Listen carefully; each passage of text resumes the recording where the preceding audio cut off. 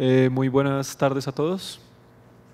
Eh, primero un aviso, pues nos solicitan, la, la conferencia va a ser grabada, eh, entonces nos piden que por favor les indiquemos que apaguen los celulares o al menos los pongan en modo silencioso para que no quede grabada la, los sonidos de WhatsApp de sus mensajes y demás.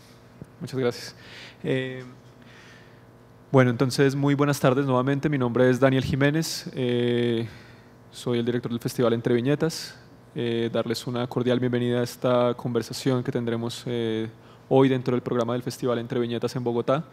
Eh, un agradecimiento especial al Banco de la República y pues, a la Sugerencia Cultural del Banco y a la Biblioteca Luis Ángel Arango por eh, ser un aliado importante de este festival ya desde hace cinco años, eh, tal vez el aliado más histórico que tenemos dentro del programa del festival y que hoy nos recibe para esta conversación que tendremos con Gary Groth, eh, cofundador y editor de Fantagraphics Incorporated. Eh, voy a hacer una presentación muy ágil y muy rápida acerca de quién es Gary, porque pues, bueno, la idea es que sea él quien hable y seguramente ustedes ya saben bien quién es. Eh, Gary pues es sin duda alguna pues uno de los editores más importantes que ha tenido la historia del cómic. Eh, podrá parecer un elogio eh, a la ligera, pero realmente no lo es. Realmente se trata de un editor que ha tenido un trabajo continuado desde hace casi 40 años en el mundo del cómic. Eh, Fantagraphics, fundada a finales de los años 70, pues ha sido una de las editoriales más relevantes dentro del universo del cómic independiente, especialmente una editorial que permitió y que ha permitido y que hoy en día sigue rompiendo esas barreras eh, para mostrar y posicionar al cómic como, como un arte en su propio medio, como un arte en relación pues, a las demás artes también, digamos como un arte con valor propio, pero también para posicionar a los autores y a los eh, artistas del cómic como voces eh, precisamente de esa palabra, de autores, es decir, no como, como eh, simplemente hacedores o dibujantes, sino como creadores con contenidos propios, con apuestas arriesgadas dentro de la narrativa, con apuestas arriesgadas dentro de lo gráfico también. Fantagraphics ha sido una editorial que ha digamos, navegado por distintos momentos en su historia, algunos muy difíciles, publicar cómics independientes, lo hablábamos hace un momento, no es eh, realmente una tarea fácil en ningún país del mundo. Eh, y casi que dado cátedra durante mucho tiempo acerca de cómo hacerlo y cómo hacerlo bien además, eh, de manera arriesgada y cuidando un criterio. Entonces Gary es en gran medida responsable de eso y la idea es que tendremos una conversación acerca de eh, pues del presente, del pasado, del futuro de Fantagraphics seguramente, pues, pero con algo de idealismo, humor y escatología.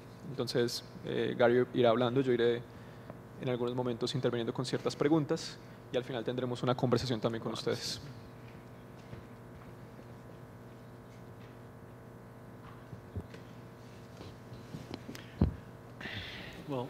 Bueno, primero que todo, muchas gracias por venir. Eh, Es un gran honor estar aquí. Fantagraphics is celebrating its 40th Fantagraphics está celebrando su aniversario número 40 el Um, próximo año. De hecho, oficialmente empezamos a publicar en 1976, 1976 and we currently publish y between 80 publicamos entre 90 los books a 80 year. y los We're 90 located in Seattle, Washington, libros eh, al año. Estamos en el eh, norpacífico de 20 Estados. Unidos. Tenemos más o menos includes 20 empleados entre editores, gente de mercadeo, diseñadores y gente de producción. And uh, Y creo que tal vez somos la más grande de los publicistas o de las editoriales Um, independientes. what I'd like to do Nos sentimos con confianza y tranquilos con uh, respecto a la historia de Fantagraphics. También es la historia de los uh, cómics were alternativos en Estados Unidos porque fuimos. Parte de ello uh, y esa es parte de nuestra fortuna.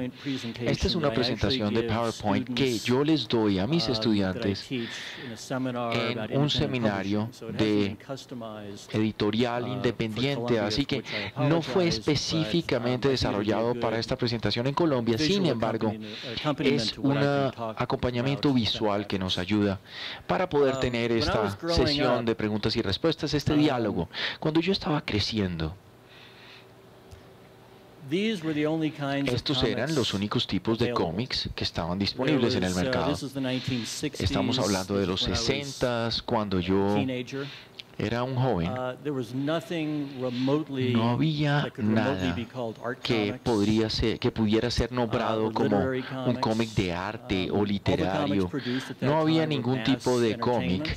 Eh, era uh, para distribución masiva, para, en realidad era la parte más baja de la cultura popular, um, estaba debajo de la televisión, en realidad eh, se los catalogaba como faltos de inteligencia y de cultura. Uh, los cómics empezaron en los Estados Unidos a publicarse en 1930, especialmente para los niños, en los 40, de pronto para algunos eh, militares en los 40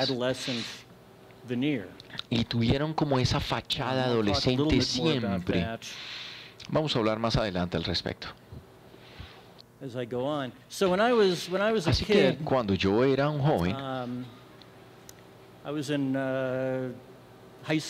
y estaba en el bachillerato, uh, básicamente fui um, alienado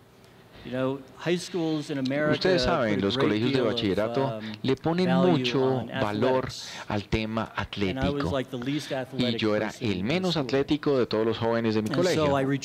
Así que yo era fanático de sentarme en el recreo a leer cómics. Cuando tenía 13 años, empecé a publicar este esta primera revista, Fantastic Fanzine. Este era el paralelo entre los cómics que están aquí en Colombia y en donde estaban en eh, ese mismo um, lugar en los Estados Unidos. Estamos hablando de los 60. Este es 1967 cuando um, se publicó esta revista. Como les dije, solo había, digamos, libros comerciales de cómics, pero había muchos fanáticos. Y yo era uno de ellos. Así que había muchos de estos tipos de fanzines, uh, o sea, revistas de fanáticos. Íbamos a convenciones, nos enviaban por correo las revistas. No eran convenciones gigantes, la más grande se hizo en Nueva uh, York. Y lo máximo que logramos reunir fueron 3.000 personas. Um, Esta es realmente una foto de un banquete en la Convención de Artes del uh, cómic en 1969. Esta fue una foto que se tomó. Este señor es Phil Foster, una persona que hizo el Prince of Minds, un periódico en 1936 y lo escribió hasta 1972. Uh, se le estaba dando honor en esta convención. Uh, eh, fue un autor importante. Había estaba, allá estaba también Bill Kane, un artista también importante. Y esto estaba lleno de profesionales de esa era. Este era el tipo de personas y de fanáticos. Como les dije, nosotros todos los fanáticos íbamos a estas convenciones y este soy yo.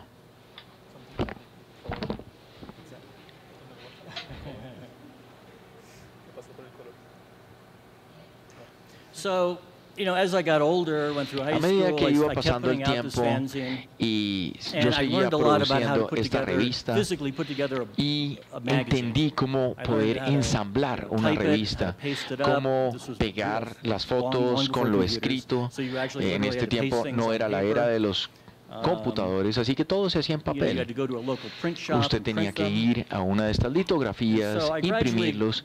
Gradualmente cada vez me volvía mejor en hacerlo. Aquí estoy tomando una foto de más o menos a los 16 años. Ahí está atrás todos los eh, um, revistas de cómics que yo publicaba. Al lado tengo una grabadora en donde yo tenía, por ejemplo, las grabaciones de las entrevistas que hacía con los artistas uh, del cómic uh, y uh, las transcribía por escrito. Tenía yo, yo tuve un tipo de entrenamiento en la universidad durante tres años. En realidad no quise terminar mi um, universidad. Yo no sabía qué hacer en mi tiempo, pero sí sabía que yo no quería ser una máquina corporativa, una máquina de trabajo.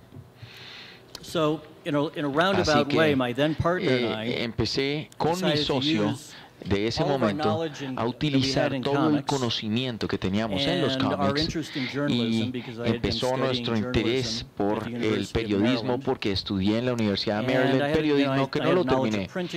Tenía técnicas de impresión y cómo ensamblar revistas, así que lo que hicimos fue una revista. Se llamó el Comics Journal, la revista o el periódico de los cómics. Lo que queríamos era darle una visión periodística a la industria del cómic.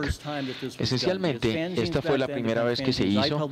El tipo de revistas era fanzines y básicamente éramos idólatras de los cómics y adorábamos a las personas que los hacían, uh, pero a través de esta corta uh, carrera universitaria y a uh, través de todo el didacticismo, empecé a aprender sobre eh, el periodismo, sobre la crítica, sobre el arte y pensé que estos cómics se beneficiarían de tener una revista crítica y periodística acerca de este tipo de industria.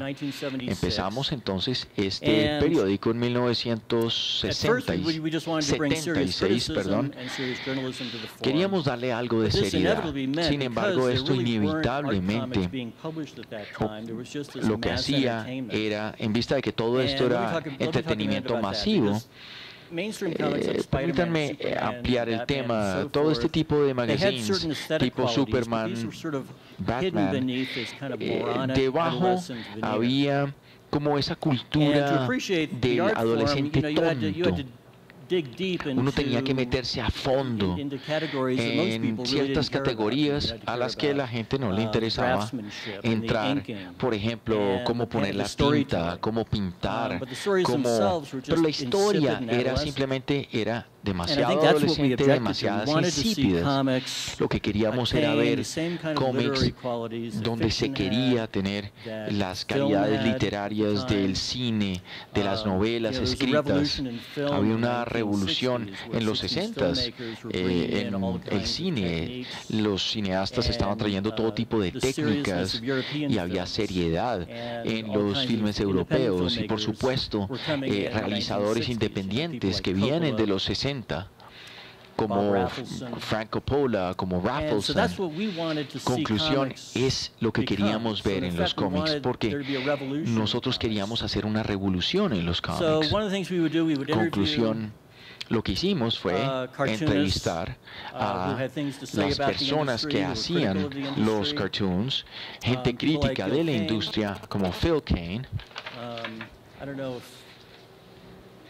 No sé uh, si de pronto esto puede no ser legible para muchos de ustedes, pero es básicamente un comentario interesante acerca de la um, industria de los cómics en Estados Unidos. Nosotros le dimos la voz a estos artistas y escritores que en realidad no tenían el lugar para poder uh, quejarse, para poder eh, decir lo que no les gustaba de la industria y el hecho de que estaban tratando de romper las fronteras tan restrictivas de las editoriales que eran las dominadoras y era el género de los superhéroes. Así que gradualmente um, empezamos a hacer cosas como uh, entrevistar a Art Spiegelman, que en 1981 uh, co-creó con su esposa François una mm, revista uh, interesante de um, el cómic alternativo, el meterle el arte europeo y todo el tema de la nueva generación como Charles Burns y Jerry Moriarty, así como eh, hacer el uh, seriado de El ratón, el holocausto. Esto, el arte se volvió una um, fuerza importante en los 80s. Antes de esto, empecé en los 70s pero este señor Art Spiegelman uh, vivía en New York, uh, mientras que nosotros estábamos en Connecticut a 45 minutos en tren de Nueva York. Conclusión, sentíamos que estábamos juntos en ello, que estábamos empujando la industria del cómic hacia el futuro. Yo iba a Nueva York con Art y a veces um, invitábamos a nuestras fiestas en Connecticut a Art. Y sentíamos que era un grupo que estaba evolucionando um, el cómic a una uh, forma de arte genuina. Nosotros eh, hacíamos un debate con Frank Miller, por ejemplo, acerca de si había um, valor en esto, en estas convenciones públicas, por ejemplo, y hacíamos una transcripción del el tema en la revista hacíamos reportajes uh, acerca de cosas que hacían cimbronear a la industria. Y entonces los artistas de los 60 que eran renegados uh, empezaron a apoyarnos, a establecer ciertos derechos, uh, por ejemplo, de autor por parte de los dibujantes. Y estamos hablando ya de 1979. Íbamos a reuniones en donde había 60 o 70 eh, profesionales y, dábamos el reporte de lo que había ocurrido en esa reunión. Así que esto todavía no se había hecho. ¿Quiénes eran los lectores de Who were the readers of this comic journal? Who were reading it? Oh, how do you distribute that? And what reactions were there in the media when you started publishing it? Excelente pregunta. Gracias. Tienes que entender que nosotros no sabíamos quién iba a leer, esta revista. Y parece un poquito idealista, pero realmente no nos importaba en este momento puede parecer idealista. Realmente lo que queríamos era hacer el tipo de revista que, nos forzaba a esforzarnos y, creíamos que podíamos poco a poco conseguir los fanáticos. Había como un reino de fanáticos ahí. Eh, ya había el reino de los fanáticos de los 70 de el tipo de eh, ah, revistas y el tipo de ah, librerías que los compraban y vendían. Estaba también el tema de eh, las ah, publicaciones, el tipo de publicidad para los coleccionistas de estos cómics. Así que en realidad no teníamos una expectativa eh, de quién iba a leer esto. Simplemente lo publicábamos y pensábamos que se iba a vender y que eso nos iba a mantener. Cuando lo empezamos a hacer, tenía yo un trabajo separado, diferente. Me tomó tres o cuatro años poder conseguir que esta revista me mantuviera. Así que no teníamos expectativas financieras, simplemente lo gozábamos y le dedicábamos nuestros tiempos libres. Lo distribuíamos eventualmente después de año y medio de publicar esta revista conseguimos dos distribuidores que eh, distribuían a las librerías ese tipo de uh, cómics. Hablé con ellos y los convencí de que consiguieran copias de esto. y consiguieron, compraron 4.000 copias. Así que finalmente vendimos 8, 8.000 copias, lo distribuyeron a las diferentes librerías, pero es que esas tiendas, eh, los dueños eran los dueños de Marvel. Había muy pocos tipos de cómics diferentes a los de Marvel. Eh, poco a poco se iban muriendo se iban um, muriendo los otros productores, los de los subrepticios empezaron como en el 34 hasta el 44 porque eh, vendían parafernalia para hacer drogas o los fueron cerrando porque digamos vendían pipas para fumar marihuana y ese tipo de cosas. así que fueron cerrando poco a poco este tipo de tiendas. pero básicamente el 95% de las eh, compañías o las tiendas que vendían, vendían simplemente todo Marvel. Y básicamente lo que nosotros hacíamos era atacar a Marvel um, Comics todo el tiempo. No era que lo hubiéramos planeado, pero se volvió así, porque lo que queríamos era subir los estándares de los cómics. Yo tenía la visión de que los cómics se volvieran una forma literaria y todo lo que sacaba era antitético de esta visión. Así que lo único que podíamos hacer era simplemente darle martillazos a, Marvel, DC todos los meses. Um, Una de las cosas que hicimos en todas las ediciones fue presentar una entrevista uh, con un escritor, con un dibujante. Este señor era una ficción, se llamaba Harlan Ellison fue una entrevista muy uh, volátil. Teníamos la, reputación de que nos defendían ciertas personas, pero básicamente polarizamos la industria del cómic. Nosotros dábamos un mensaje a la uh, gente le encantaba y les, le gustaba la misión editorial que teníamos, pero teníamos también una gran parte de la uh, industria del cómic del cómic que nos despreciaba. La mayoría de los gerentes de Marvel de Marvel DC, ellos no entendían lo que estábamos haciendo. Ellos decían, pero ¿por qué piensan que lo que, están, que lo que estamos uh, produciendo es basura? Así que una de las cosas que ocurrió en 79 y en los 80 es que empezamos a hacer entrevistas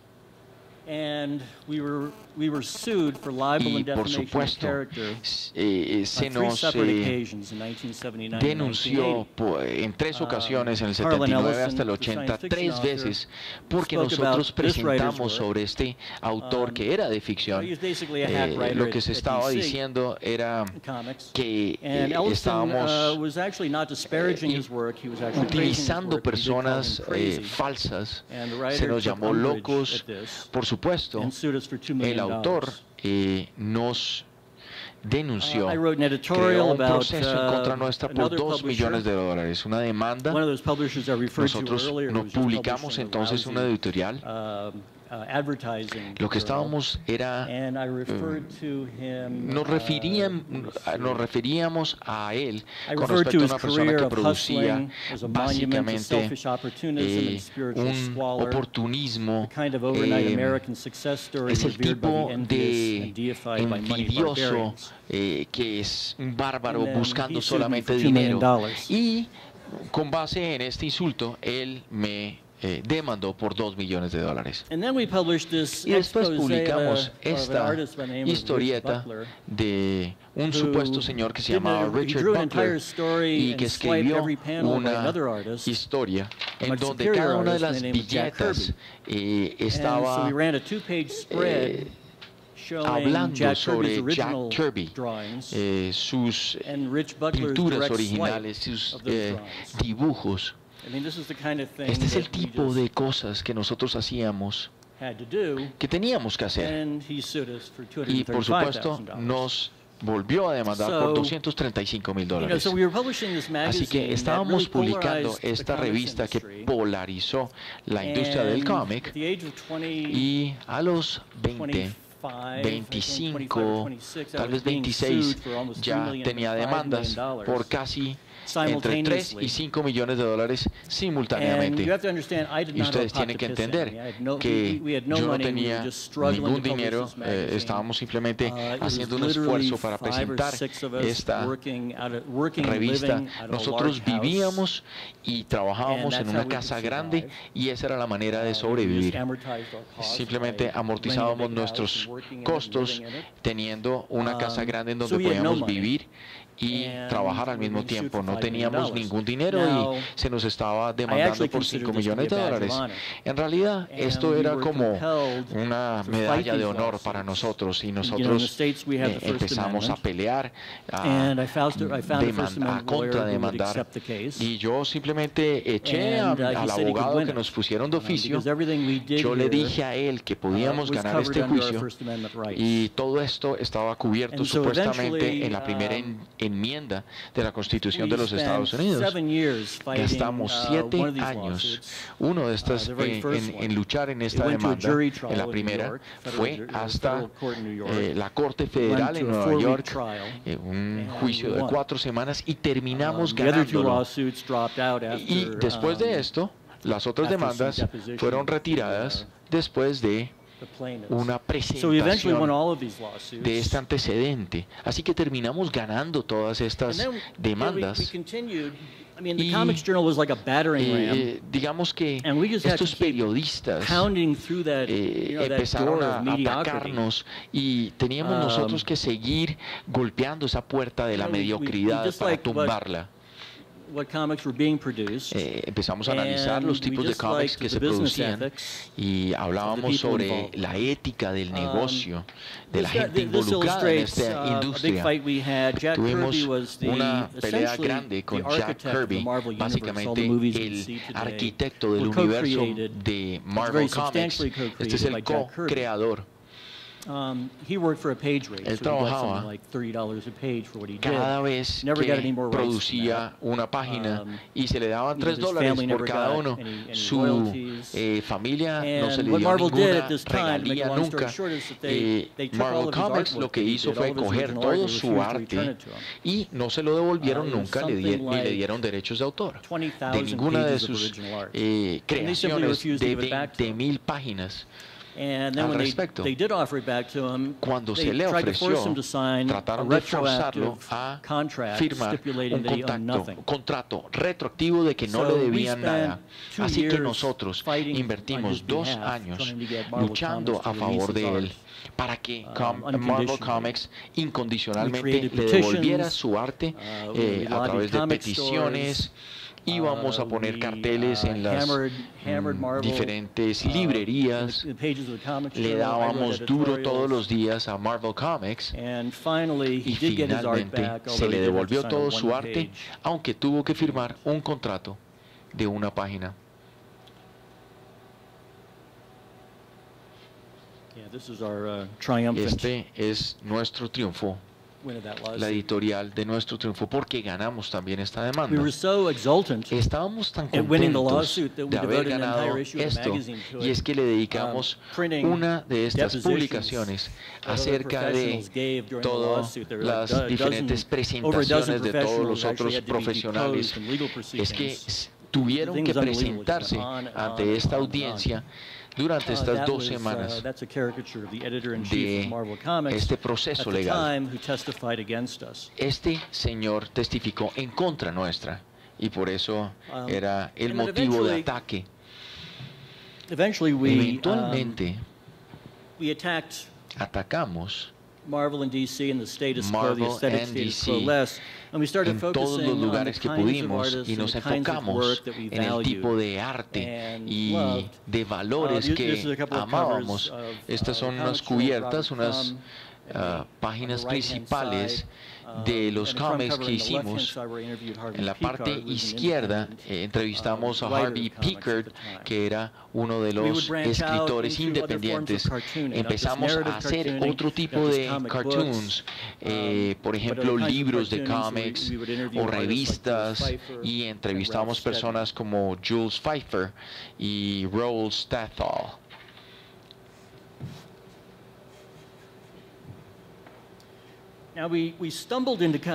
Empezamos a encontrarnos con cómics y en 1981 una de las cosas que empezamos a entender fue que uh, empezamos a conocer muchos dibujantes, muchos editores y los podíamos entrevistar dentro de la uh, revista. Jack Jackson, por ejemplo, era uno subrepticio, hacía trabajo satírico en los 60s y 70s y después empezó a hacer historias gráficas muy serias. Basadas en la historia. Los entrevista, lo entrevistamos, no lo conocíamos bien. Y él se me acercó y me preguntó si podíamos eh, presentar la historia de la guerra mexicana de secesión. Esta fue nuestra avanzada um, editorial a nivel histórica.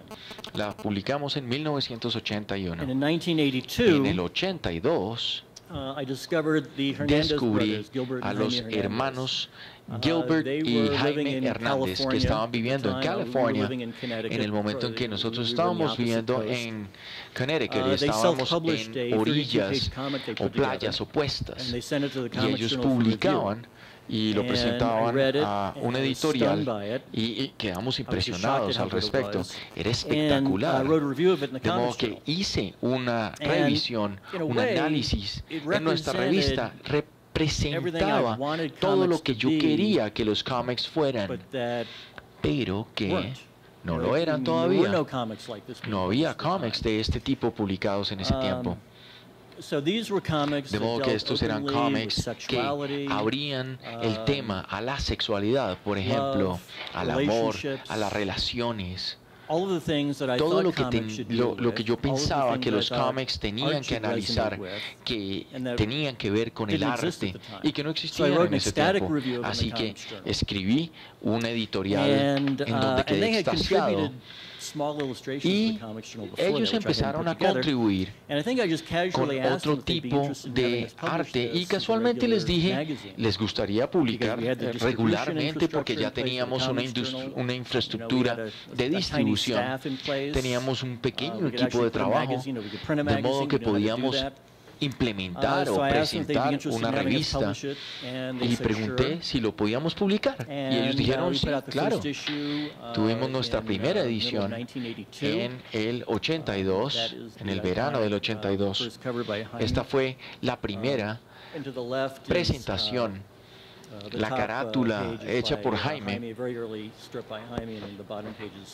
En la parte de abajo eh, teníamos presentaciones por parte de Gilbert, los dos hermanos. No, es, es interesantísimo lo que ellos uh, trajeron al medio, los valores, los valores humanos que trajeron a los cómics. And then in the 1980s, 1982, 83, 84, y después en el 83 hasta el 85 empezamos a abrir diferentes tipos de revistas críticas. y pensamos, bueno, ¿por qué no ponemos los cómics que, que respetamos y apreciamos y amamos y eh, eh, um, que eran antiguos y volver a presentarlos? No lo analizamos desde el punto de vista de mercadea, de mercadeo, sino que eh, los coleccionistas iban a, uh, adorarlo. Conclusión, pusimos Popeye, hicimos revistas sobre uh, Popeye, El Príncipe Valiente, de Hal Foster. Los pusimos en blanco y negro inicialmente y simultáneamente eh, eh, publicando estas revistas y defendiéndonos de las demandas, empezaron a venir los diferentes dibujantes. todo tipo de autores que eran inspirados por los cómics subrepticios.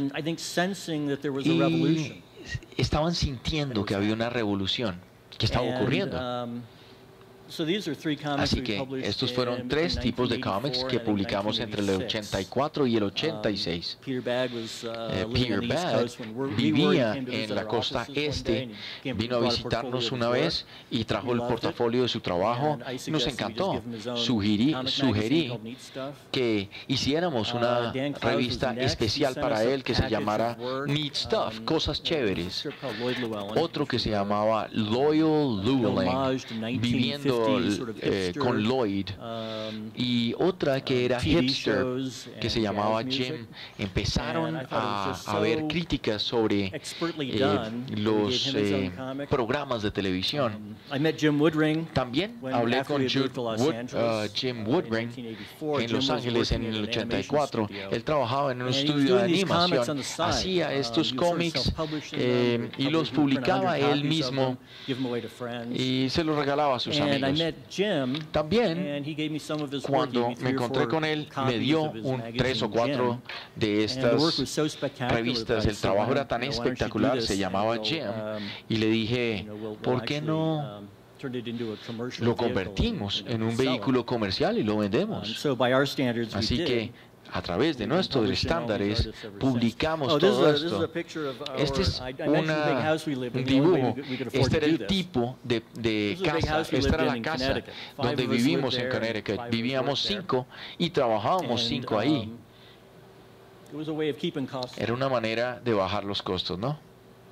de sobrevivir. De um, modo que continuamos en los 80s y 90s publicando novelas gráficas, cómics, colecciones de um, cómics. Y esto es uh, algo de lo que estoy muy eh, orgulloso. Los Crumb Comics, los cómics de las boronas, y uh, Music for Mechanics, la música para los mecánicos, me encontré con el autor y hablé con él para que se pudieran publicar desde 1960 hasta el presente. toda esta colección. El autor en principio no estaba interesado, pero poco a poco recapitulamos y empezamos a hacer nuevas carátulas y publicamos todo su trabajo, el de Gary. También empezamos a publicar en forma de libro esta revista. Empezamos a publicar libros uh, de artistas que admirábamos, como el que habíamos mencionado, Jules Pfeiffer y Rod Stedman. Rod Stedman es un inglés un dibujante. No sé si eh, conocen a Andrés Thompson. Um, este periodista americano es un periodista radical en los 60s y 70s. Y él escribió Fear and Loathing en Las um, Vegas. Y Ralph Steadman era el artista que ilustraba este trabajo de este periodista. Y de ahí en adelante empezó a publicar su propio trabajo. Jules Pfeiffer empezó a hacer cómics en los 50 a mediados y fue uno de los pocos que hacía la continuidad para los adultos. Lo empezó a hacer en un periódico fundado también por uh, John Mayber y esta fue su primera uh, carátula. Uh, Empezamos a hacer Bola 8, 8 uh, Ball, en el 89, de la cual sacamos Ghost World y lo hicimos como una serie una serie publicada y eh, empezamos a publicar novelas gráficas en los 90. En los 90 empezamos, Chris um, Well empezó eh, a trabajar en Raw Magazine, la revista cruda. Y en un periódico de Chicago alternativo, eh, le preguntamos si él quería publicar a través de nosotros en volúmenes individuales. Uh, y él dijo que sí. Para Joe um, Sacco, um, el presentador, eh, esto básicamente uh, fue una revista que se llamaba Palestina era parte de nuestro equipo de trabajo realmente, de nuestros empleados. Básicamente era un periodista que estudió periodismo como tal y una de las cosas que quería era ir a Israel a la franja de Gaza y hacer un reportaje. Conclusión, fue durante un tiempo, tomó um, notas, tomó fotos y las trajo de um, vuelta e hizo esta serie de 12 cómics. Cuando lo publicamos se llamaba Palestina. Al principio de los 90 a nadie le importaba, nadie lo compraba. Básicamente seguía um, el predominio de Marvel Comics, lo vendimos muy, muy mal vendida y básicamente la reempaquetamos Uh, Palestina como un libro y cuando empezaron las novelas gráficas al final de los 90 y al principio de los 2000 se volvió una gran venta. ¿Quieres decir algo, Daniel? Esto fue un momento, eh, pues creo que especial, o sea, si, si vemos antes se publicaba en, en ediciones como revistas, it was only published y justamente iba a preguntar eso, porque magazines, I, was, I wanted to understand the transition on how um, it ended up as books, as graphic and graphic novel, novels. How did Fantagraphics adapt? Uh, at first it was just five people to save, to keep costs uh, down, and how did it uh, start adapting as an enterprise, not only as a comic book, but as a book, uh, reaching other markets, other readers. How does it start changing as a company, Fantagraphics? It was slow and arduous Fue lento, muy um, doloroso y arduo y arduo. Primero tengo que decir que yo, yo, no soy un hombre de negocios, así que cuando empezamos, yo lo único que sabía era que esencialmente yo era inempleable, tenía un récord terrible como empleado eh, y entonces lo que necesitaba era trabajo, así que empecé a autodarme trabajo. Conclusión eh, en los huesos, ¿no? Empezamos eh, pequeños y empezamos a construir encima de ello. Y parte de esto tenía que ver con una vez que empezamos a publicar estas novelas gráficas que al principio se llamaban uh, libros gordos no más.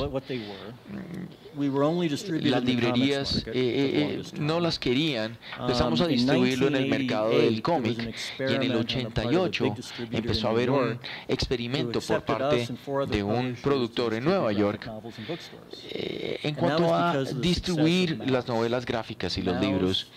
Y es que Mouse, Dark Knight y Watch Night eh, empezaron a ser exitosos en las um, librerías. Así que la gente de Nueva York empezó a pensar, wow, esto es como lo mejor. Eh, las novelas gráficas empezamos a distribuirlas en las librerías. Y todos nosotros fallamos. En realidad las librerías no querían tener nada que ver con nosotros. Las novelas gráficas no sabían lo que era, los consumidores tampoco. Los consumidores conocían a Batman, por supuesto. Y Art Spiegelman tenía un, un, hit, um, eh, digamos, que terminó siendo un holocausto, no porque fuera cómics, sino porque tenía que ver con el holocausto. Era el, el tema eh, que fue lo que llevó a Mouse a este status a este estatus. Y es que eh, era algo que tenía que ver con el hecho de que esto era demasiado bueno para ser un cómic. Así se veían es nuestro tipo de cómics. Así que en los 90 empezamos a construir y a desarrollar un distribuidor. Es que mi ambición era que pudiéramos ser distribuidos en las librerías y que los cómics se volvieran parte de la cultura popular. De modo que el cómic tuviera al lado de la ficción literaria y de um, los cintas de cine uh, un nivel igual. Eh, no queríamos ser relegados como lo habíamos sido desde los 1930 y, no queríamos que nos compararan con Spider-Man, con Batman, con Superman. De modo que era simplemente una parte de la conversación pública, de la cultura. Poco a poco empezamos a entrar a las librerías en los momentos sin embargo, fue bastante duro. Es que con el proceso de educar a los libreros y a los consumidores, a los lectores, quién lo iba a comprar, era, fue bastante duro, difícil. En, um, I'm sorry, in 2002, el 2002 encontramos un buen distribuidor que se llamó W.W. Norton, un publicista independiente que distribuía ese tipo de material alternativo. Era los, el, el último de las pocas eh, eh, empresas independientes que había de distribuciones.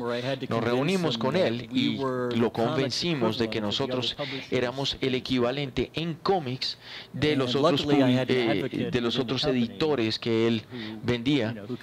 Tuvimos la fortuna de que alguien estaba mm, confirmándole a él el hecho de que sí lo éramos él empezó a distribuirnos y fue alrededor de ese momento cuando las novelas gráficas llegaron a una masa crítica en donde la gente empezó a comprar los libros y lograron entender los libreros que sí había dinero y que había suficiente mercado cultivado ya.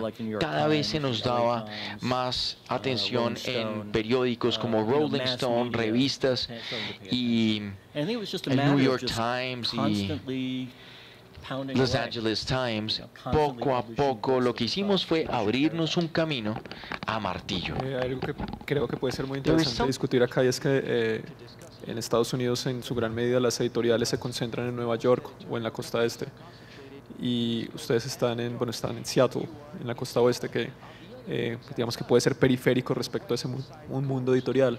Eso cómo, pues cómo ha afectado la, la, visión de negocio de Fantagraphics o cómo ha afectado esa relación de, Fantagraphics con ese mundo de Nueva York y, del, y de, los, de las, eh, digamos como el mundo corporativo editorial estando en la periferia.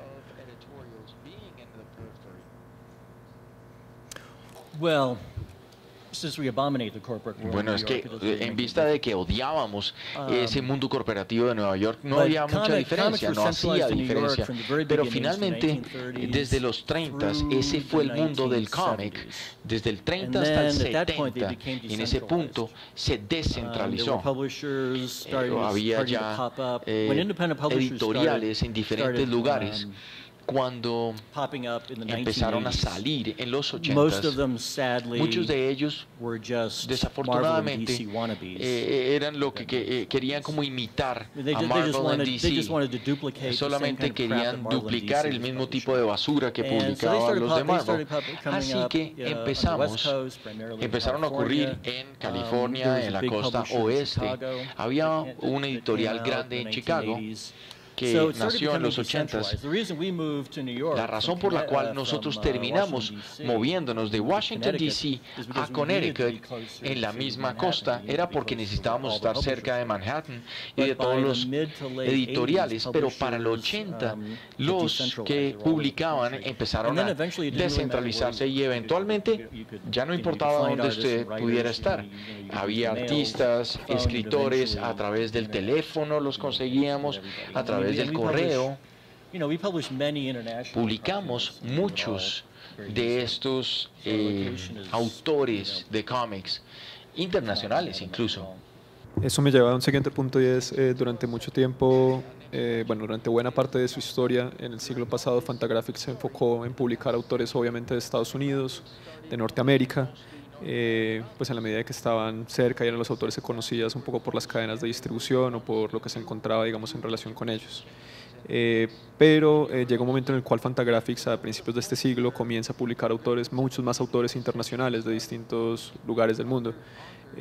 ¿Cuándo comienza a suceder eso en Fantagraphics y cómo comienza a ser esa relación de Fantagraphics como editores de autores internacionales, de autores europeos, de trabajos pues, de, de otros países, otros continentes? Well, you know, it actually it actually started very early. my my partner En realidad, um, en realidad empezamos muy uh, temprano. Many, many years, Mi socio um, durante muchos años era, fue un señor que se llamaba Kim Thompson, que desafortunadamente murió hace dos años de uh, cáncer. Uh, pero él eh, hablaba cinco idiomas, so fue criado en Europa, por lo cual él estaba muy interesado en este tema. Era parte de nuestro nicho de especialidades y es algo que le daba fortaleza a um, nuestra compañía. Um, Yo me enfocaba, mientras tanto, en los cómics americanos como Easy um, Life en los 50 como él vivió en Europa, empezó a amar esos cómics europeos que él quería publicar aquí en Estados Unidos. Así que desde los 80, desde 1900 84 empezamos a publicar eh, cómics como Sinner, El Pecador, eh, de Jules Muñoz. Um, so we would, we would publish publicamos you know, de, durante los 80s y 90s um, um, algunos tipos de um, cómics europeos. Empezamos, por ejemplo, a publicar Peanuts. en el 82, en el 92, um, perdón. Y eso nos ayudó a financiar proyectos um, eh, que de otra manera no hubiéramos podido pagar y empezamos a traducir y a conseguir mucho más eh, jobs por ejemplo. Eh, personas europeas. Kim Dai se murió después, pero continuamos esa tradición eh, de, por ejemplo, incluso los suramericanos. El argentino, por uh, ejemplo, uh, Eternaut. Um, por parte de uh, Héctor Osterheld y Solana um, López, que es, lo he conocido durante muchos um, años, es um, una cómic legendario internacionalmente que se pintó, que se dibujó en el 50 como metáfora política de lo que ocurría en Argentina en ese tiempo. Era algo que yo quería publicar. Yo era amigo de Solano López que publicó desde ese tiempo. Así que cuando um, tuve la oportunidad, la compramos y eh, el próximo mes sale, por ejemplo, es un libro, una novela gráfica de 350 páginas. Así que estoy muy contento eh, de continuar esa... Eh, una parte importante también de Fantagraphics lo veíamos era eh, cómo publican, pues cómo tienen esta mezcla de trabajos de vanguardia, si se puede decir, un poco de autores eh, contemporáneos y cómo también publican trabajos clásicos. hace un momento decías pues que publican el trabajo de Scholz con Peanuts. Que de alguna manera pues también les permitió publicar otro tipo de proyectos de, de buena envergadura. Mickey Mouse también, digamos que tienen los derechos de esto y también lo publican. Eh, pero hay un cómic específicamente que sé que puede tener una historia, además personal, importante para Gary, porque lo veíamos al comienzo y es cuando publican Prince Valiant. Eh, cuando vuelven a, cuando, editan Prince Valiant y cuando recuperan esta edición, digamos, mucho más curada y mucho más cuidada de Prince Valiant, que fue un cómic que te inspiró pues, en tus primeros años de lector de cómics. Eh, ¿Cómo fue ese proceso de hacerse a ese, cómic y de trabajar con un cómic clásico y de acercarse a él? Eh, y de recuperar este libro como para memoria de, pues de, lo editorial y de la lectura de cómic en, Estados Unidos y en el mundo en general.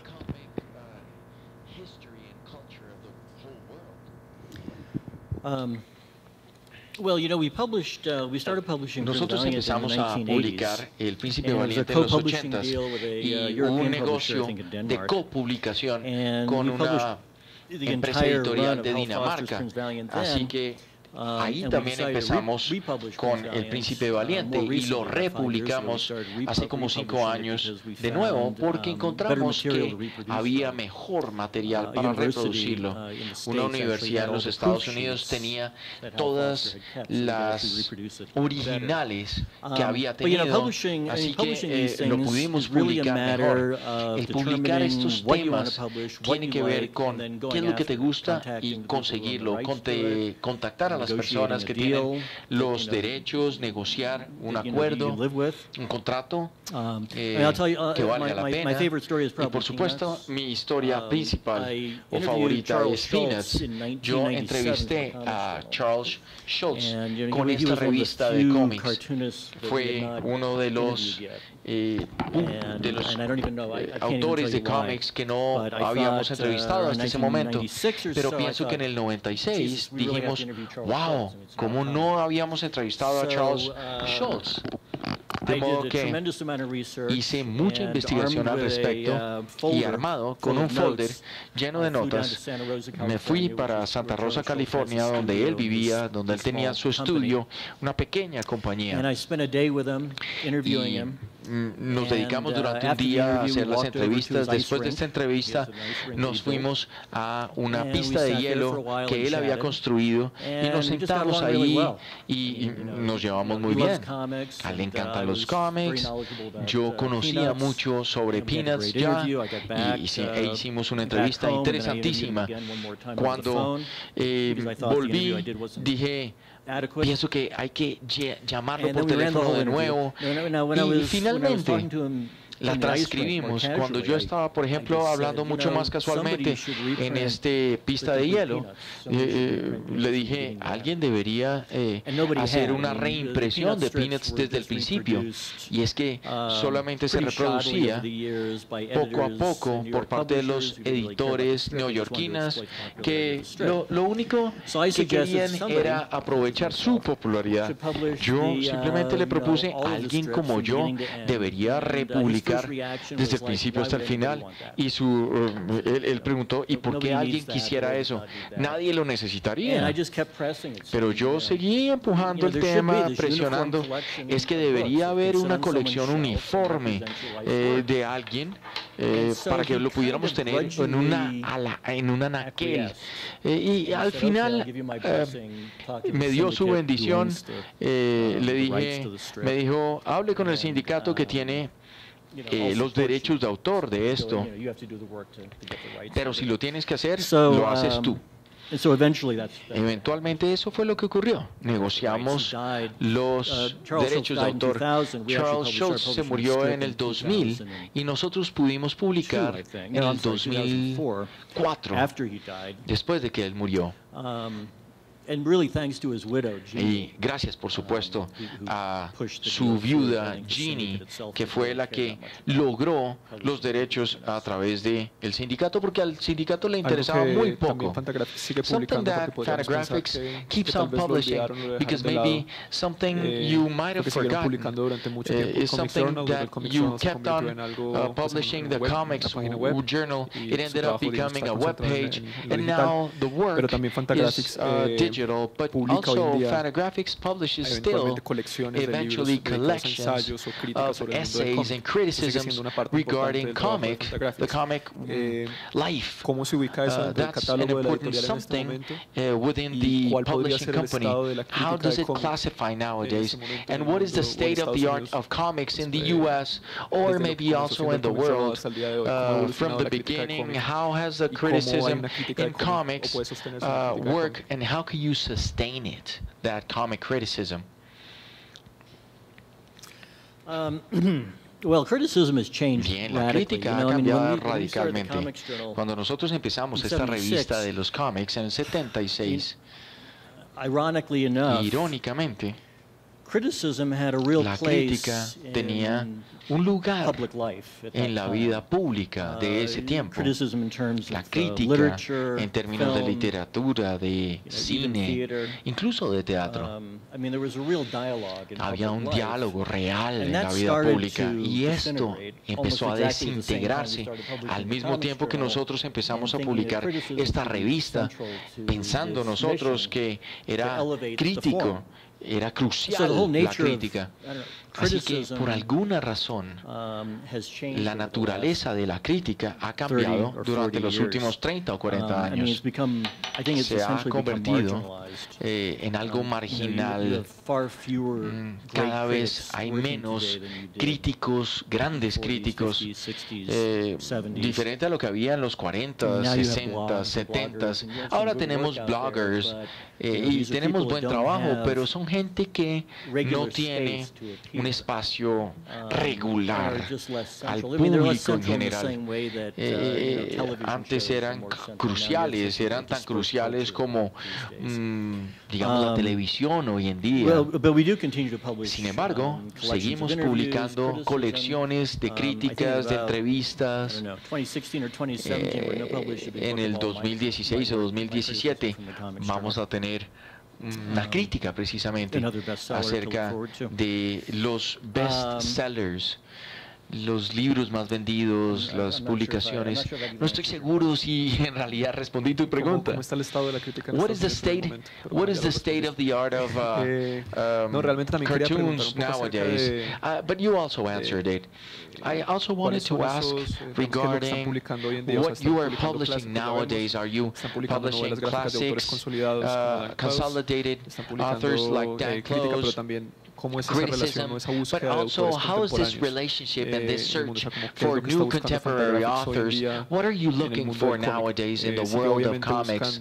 Are you still looking for a vision of authors which might deal with important topics which can make breakthroughs in the barriers of eh, comics as an art form? Cuáles son esos puntos que están buscando hoy en día. But o sea, what are the points you're searching for? Uh, where's the comic right away in Fantagraphics? Now we have a consolidated eh, market as a format eh, as well as an idea. But what is that next uh, border to breach or to go through, to break through? Well, you know, it's, it's enormously exciting because es, eh, estamos en un momento súper interesante. Lo que queríamos hacer era publicar cartoons, cómics interesantes, eh, fueran cartoons um, gag, o como Gayan Wilson, el trabajo de uh, Gayan Wilson, o digamos tiras uh, cómicas que se presentaran en los, eh, digamos, periódicos. Y nosotros publicamos cosas interesantes. Ahora publicamos um, todo tipo de cartoons. De hecho, acabamos de publicar una colección de Gayan Wilson de los cartoons de gag.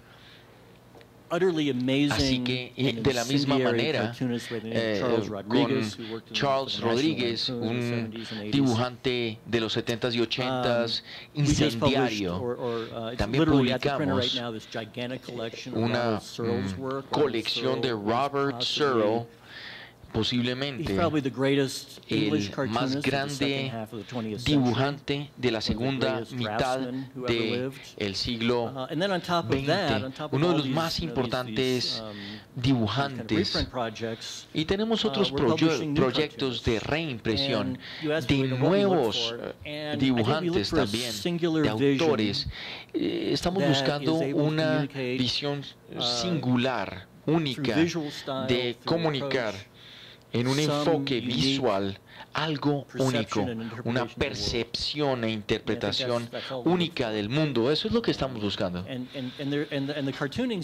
Y por supuesto, en la um, escena de los cartoons de ahora, en los Estados Unidos, um, estamos logrando lo mismo que en Europa. Y es que cada vez es más vibrante este, este mundo.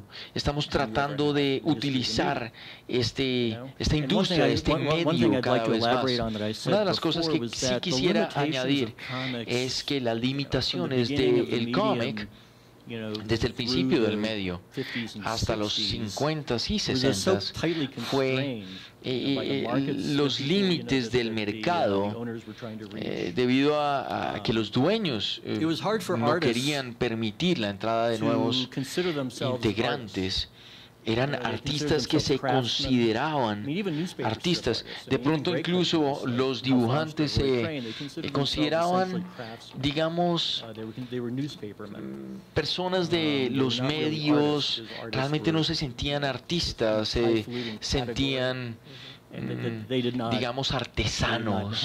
Eh, incluso Charles Schultz no se consideraba un artista. Yo tuve que empujarlo a entender que él era un artista. Y solamente en los 60 eh, empezaron a ver eh, artistas militantes que cambiaron la actitud. Eh, voy a hacer una última pregunta antes de pasar a Last question before going to the question, the auditorium question session. A short description on how Fantagraphics works.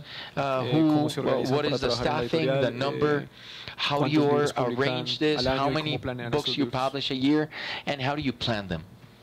Well.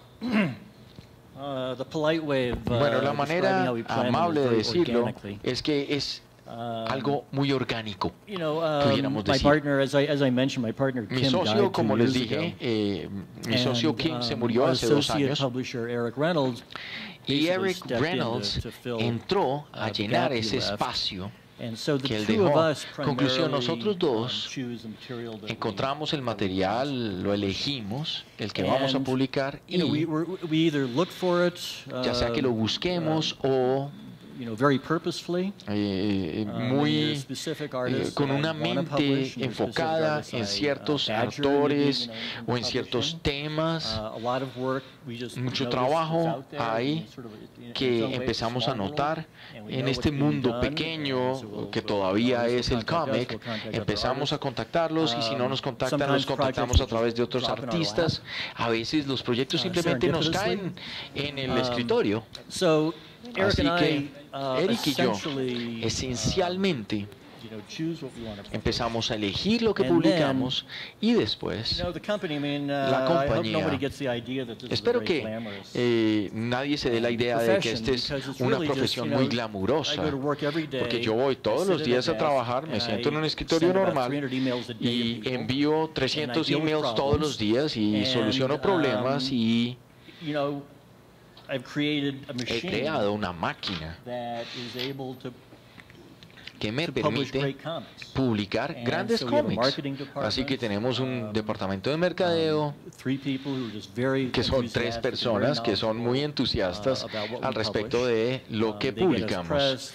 Y son los que hacen eh, uh, los medios sociales, las uh, conferencias de prensa. Tenemos un departamento, por supuesto, de diseño que también ama lo que hace y que tiene la oportunidad de hacer ese tipo de trabajo. Eh, mencioné Eternaut, que fue diseñado por Tony Long, uno de nuestros diseñadores, hizo tan buen trabajo eh, en diseñar un portafolio apropiado para el libro y nosotros personalizamos todos los libros eh, por parte de un diseñador y un editorialista y descubrimos cómo poder diseñar para poder reflejar la um, carátula y el tipo de impresión con el tema. Es básicamente mucho trabajo duro. Um, Manejamos a los impresores tenemos gente en cada uno de los estadios del libro, pero la parte que yo siento, eh, eh, en realidad lo que más me gusta es el poder estar en contacto con los autores, cómo poderles ayudar a sacar el trabajo adelante para mm, poder hacer eh, el mejor tamaño, el mejor color, el mejor libro o el tipo de publicación que se haga. Y lo peor de todo, el peor aspecto, es el tema financiero, por supuesto asegurándonos uh, que tenemos suficiente dinero para poder pagar 20 empleados todas las semanas, para poder tener um, eh, la seguridad social y poderle pagar a todo el mundo y a los impresores y publicar suficientes libros que puedan eh, con los que podamos sacar réditos y utilidades para poder editorializar otro tipo de libros que no producen dinero. Esa es la parte más difícil. Let's go to the question session bueno, vamos a pasar a la sesión de preguntas. Si tienen alguna pregunta, levantan la mano y les paso el micrófono. Eh, Daniel, da la palabra. Uh, Daniel will give the word. Uh, please raise your hand, and the microphone will be passed to you. No sean tímidos. Don't be shy. Not all at the same time, please. Somebody Alguien iba a hablar ahí arriba, alguien estaba hablando. ¿Quiere preguntar algo? No veo manos is is there anybody who wants to make a question or make a comment or oh. There's a question here. ya hay una pregunta. Now we will start. You may have been stupefied into silence. Eh, yo quisiera saber si I would like to know eh, Fantagraphics alguna vez ha tenido una, experien ha tenido una experiencia serial de producir cómics relacionados con, comics con hechos históricos que no necesariamente sean autobiográficos. No, pues yo vi, eh, mostró la experiencia de, de lo de la independencia de México. Si han trabajado alguna vez eh, con la... Creación de, the creation of sí, de, de cómics relacionados con, comics con regarding de history o de of the United States or other places. Other than that the Mexican Revolution Mexican War.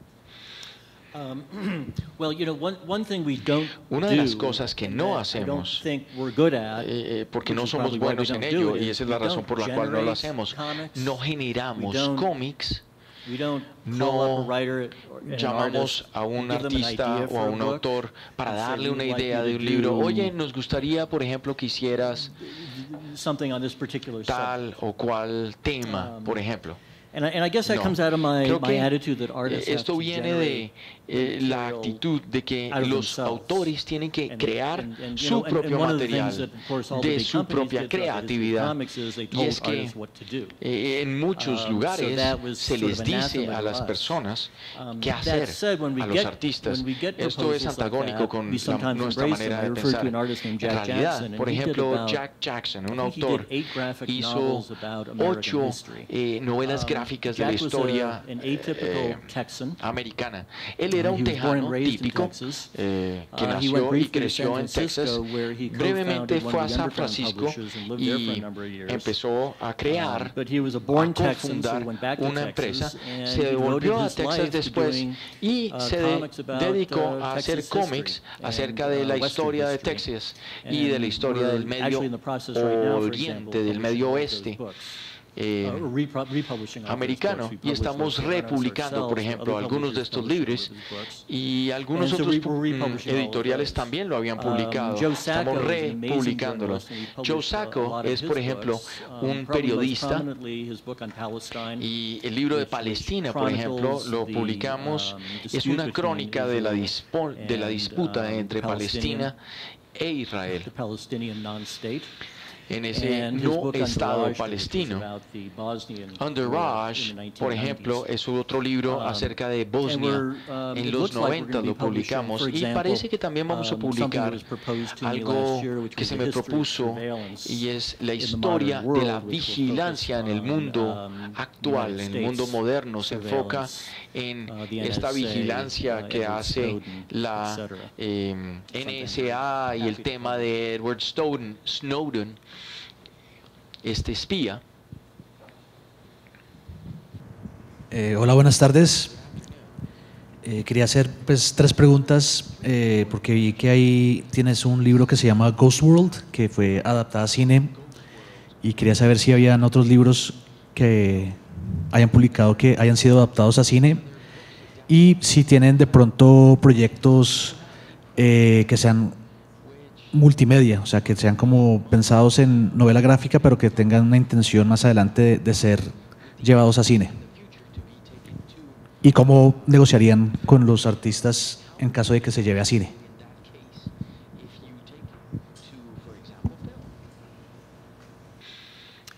Uh, well, Ghost World was a, bueno, Ghost World se hizo como una serie eh, por parte de Ted Klaus en abril y después se vendió como una um, película de cine.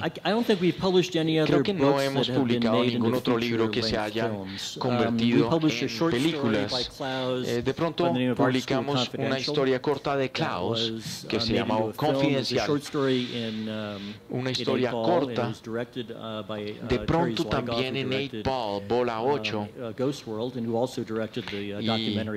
de pronto fue publicado um, por el documental um, Crumb. No, no puedo pensar en ningún otro cómic que ha terminado convirtiéndose en una película. Pero ha, habido muchas entrevistas al respecto eh, de alguna otra que um, sí han pensado los productores crear uh, eh, como revista. Uh, La gente empezó a interesarse en los films. Los hermanos Hernández tal vez saben eh, lo que es el vender uno de estos um, cartoons a una para uh, que se convierta en una película porque pueden destruirla a nivel artístico. Uh, el uh, agente de los artistas generalmente tiene que eh, ser un agente de Hollywood. Eh, de otra manera eh, se vuelve demasiado complicado negociar porque de otra manera necesitaría un especialista para saber cómo no dejarme estafar por los estudios y los productores de cine. Uno acá, dos allá. Okay, one question here and two more there. Uh, well, hello. My question is. Mi uh, pregunta es. Well, apparently, comic books right now are you know, a good thing and, and they're passing for a good moment. Do you think eh, that bubble is going to burst soon? Because uh, you know, with every movie that we start watching right now, I see that people start like, getting sick of it. David, you're translating Spanish. okay. Yeah, yeah, I'm translating it to Spanish because he's making the question in English. So you should hear him. Sorry. He decided, I'm Bro. So again, uh, my, my, question is, uh, that as comic books are happening or are passing through a good moment right now, do you think the bubble is going to burst soon? And if it does, uh, it's going to affect you somehow as a company? Mm, I was I was saying like with every movie that people start watching, they start getting sick of it. Yes, like with every mainstream movie that they see about DC or Marvel, uh, I feel personally that people start, I don't want to know about comics anymore. So you as an independent publisher, do you think you're going to be affected by that at the moment that surely probably is going to happen at some point? a afectarlos en el momento que se rompa la burbuja? Se explote? Me estás preguntando sobre cómo todos estos films de porquería de Hollywood nos va a, afectar. En realidad, cuando sale una de estas películas tontas, eh, yo siento un dolor, pero al mismo tiempo un descanso en el sentido de que nosotros en los 60s y 70s eh, creíamos en la pasión de, de, de el arte del cómic, pero este tipo de eh, cul-de-sac, eh, esas limitaciones cul-de-sac eh, artísticas de el cine, y pensamos nosotros que eh, rompiendo todas estas limitaciones en los 60s y 70s, estamos creando un género de arte en el cómic y ahora me encuentro que estoy viviendo en este mundo del cómic y, y, y, pensé que me estaba um, alejando eh, para convertirlo en algo artístico, pero ahora finalmente son dos mundos muy distintos eh, y creo que se están como borrando las fronteras entre ellos, pero creo que en los cómics hay, unos cómics literarios que están buscando una expresión más um, ambiciosa, más profunda, pero y, también tenemos el resto de la basura, um, entonces todo mezclado. Y como que estos dos mundos coexisten. Y creo que la gente va a ir a mirar o analizar. Lo que veo hoy en día es que se están sobrelapando y la gente ve, eh, ve Big Malice y después ve Los Vengadores y um, como que eh, ve las dos cosas. Creo que sí son dos mundos distintos en donde los artistas están tratando de hacer algo que vale la pena.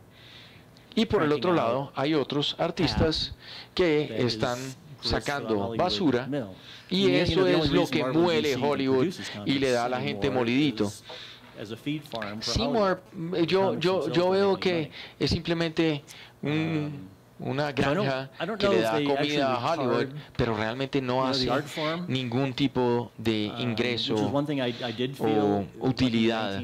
Yo, yo pienso que en los 80s y 90s pensamos que todos estos cómics miserables eh, estaban sirviendo um, activamente como barrera entre los buenos cómics y el público.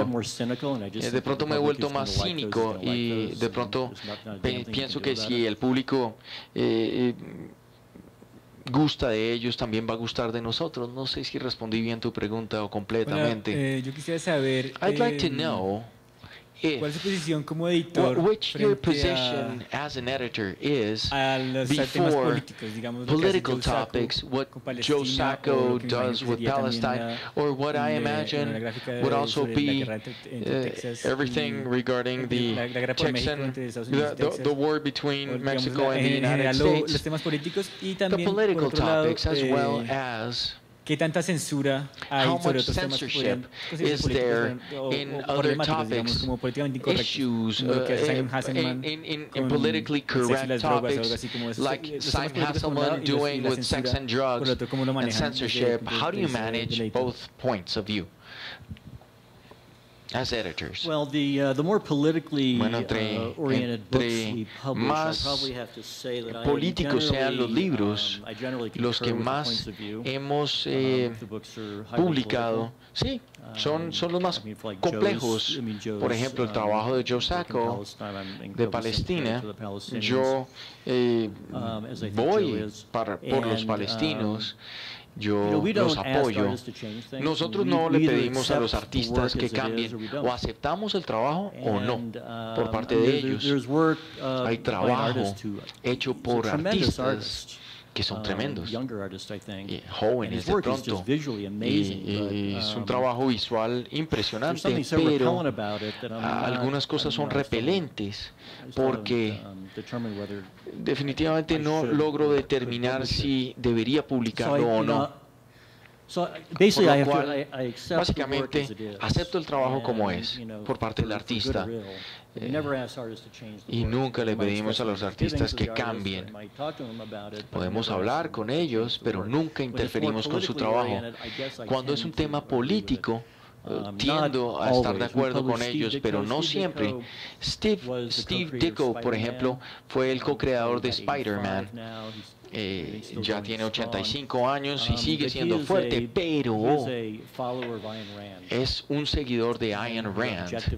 y su objetivo es la filosofía y yo detesto la filosofía, pero es un gran dibujante y publicamos una colección de dos volúmenes de su trabajo.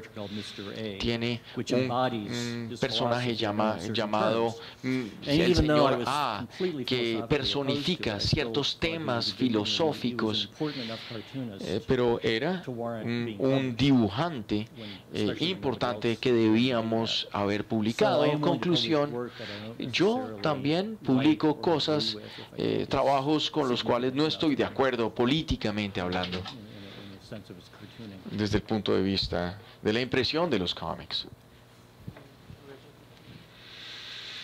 There's a question just Uno adelante y dos atrás y creo que son las últimas preguntas. Out, uh, we,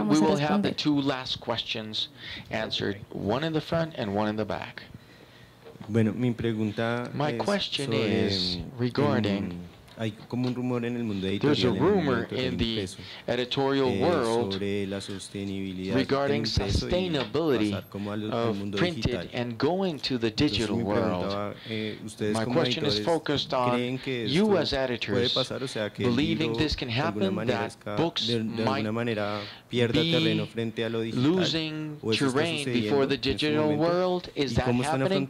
And how are you facing it? Is the topic of printing and, and the printed comic, is it feasible or will it ever disappear? Transformación. Will it be transformed? well, this is a question I get asked all Esta es una pregunta que uh, constantemente se me hace.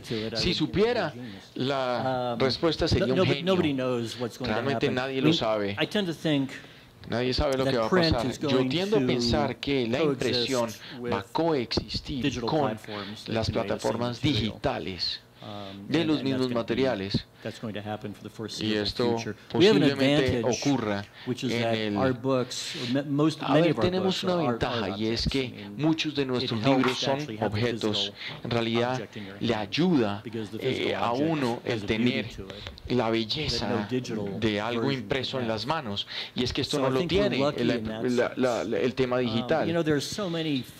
Así que hay tantas dificultades eh, financieras, tantos impedimentos que um, simplemente una de ellas. Nosotros vendemos todos nuestros libros digitalmente también. Así que vendemos en los dos formatos. Um, Pero estoy optimista, soy optimista acerca de que el libro va a coexistir. Espero que eso ocurra. Y, es que yo no puedo leer mucho digitalmente. A mí me encanta el tener un libro en mi mano y mirar las hojas como objeto, así como su contenido. Espero y soy optimista de que siga coexistiendo el libro.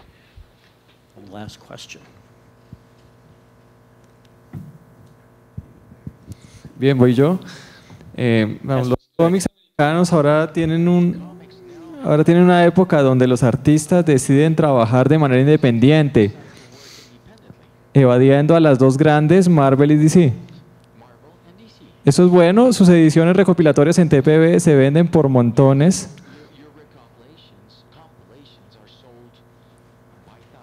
Y quisiera saber qué tan positivo es esto para la industria y para los artistas y su obra, y si eso perdurará.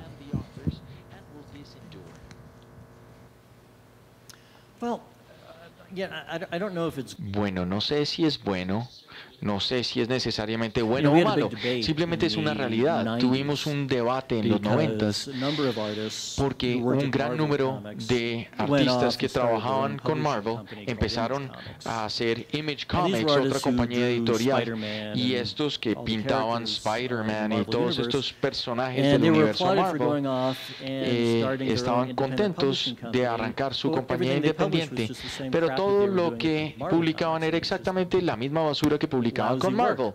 Simplemente era un trabajo pésimo.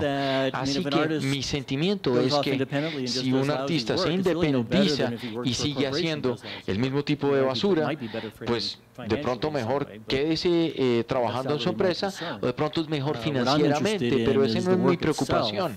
El punto es el trabajo como tal.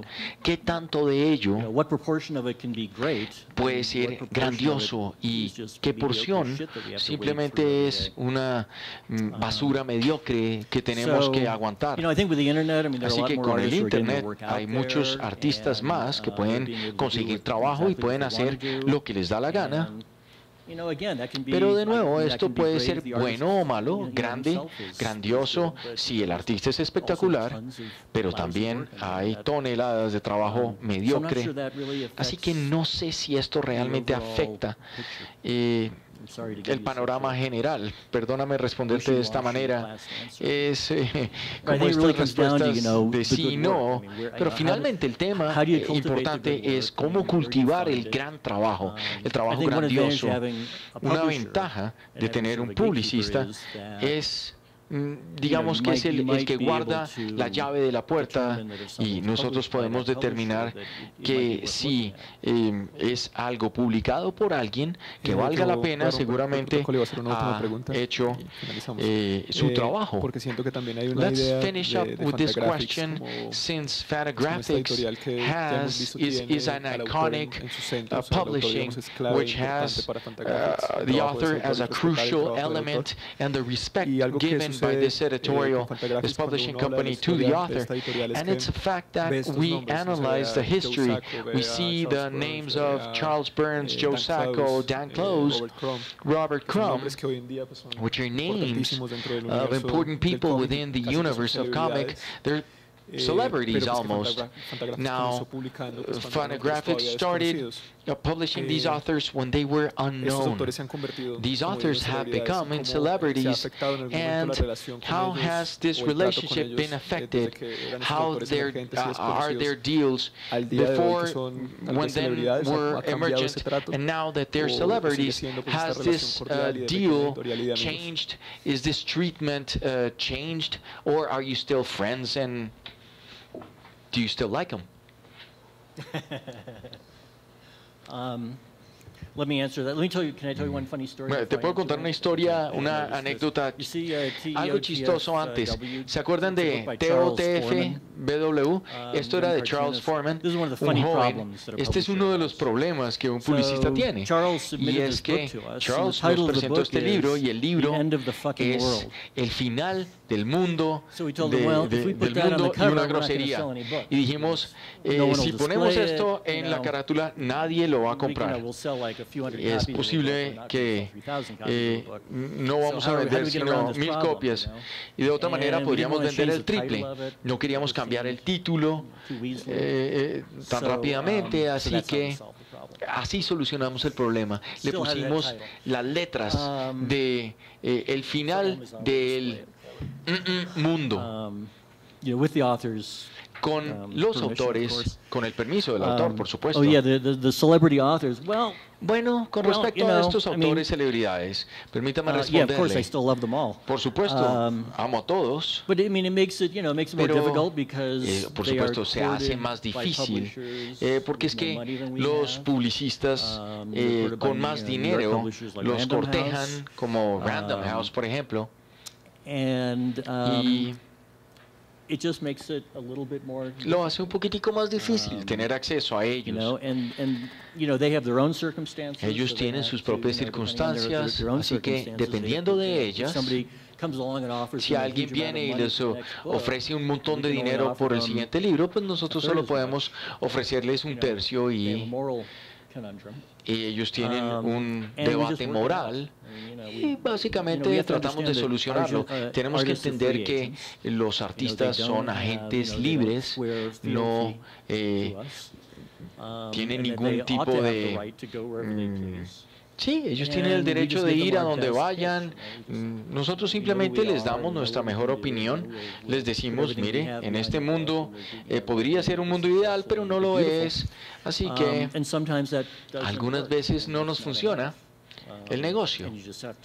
Y tenemos que aceptarlo, es la realidad.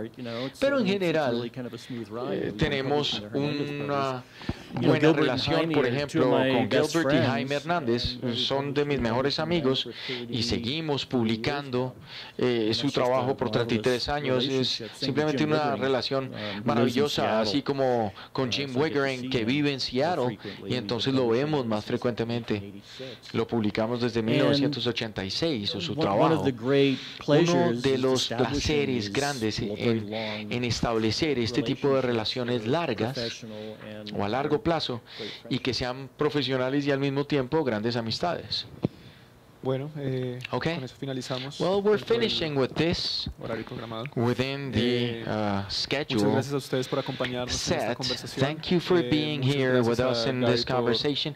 Thank you, Gary, eh, for this dialogue, this teaching regarding the comic world. Thank you, uh, Bank of Republic, for attending, for coming to this alliance with, within panels for a new version of this festival. I think we should recognize Gary with a round of applause.